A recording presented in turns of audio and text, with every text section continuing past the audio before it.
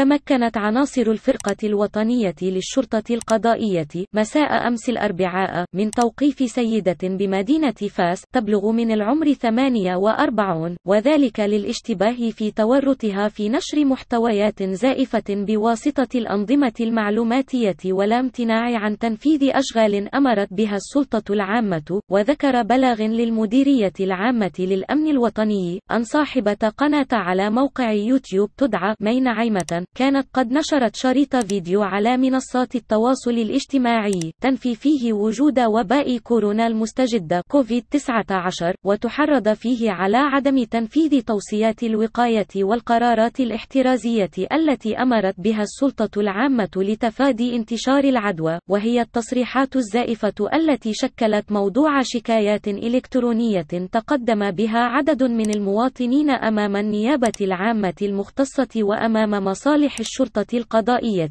وقد تم الاحتفاظ بالمشتبه فيها يضيف البلاغ تحت تدبير الحراسة النظرية على خلفية البحث القضائي الذي أمرت به النيابة العامة بالمحكمة الابتدائية بالدار البيضاء وذلك لتحديد ظروف وملابسات هذه القضية والكشف عن أسباب وخلفيات نشر هذه المحتويات الرقمية التي تمس بالأمن الصحي للمواطنين وبالنظام العام وأشار البلاغ أنه قد تم الاحتفاظ بالمشتبه فيها تحت تدبير الحراسة النظرية على خلفية البحث القضائي الذي أمرت به النيابة العامة بالمحكمة الابتدائية بالدار البيضاء وذلك لتحديد ظروف وملابسات هذه القضية والكشف عن أسباب وخلفيات نشر هذه المحتويات الرقمية التي تمس بالأمن الصحي للمواطنين وبالنظام العام.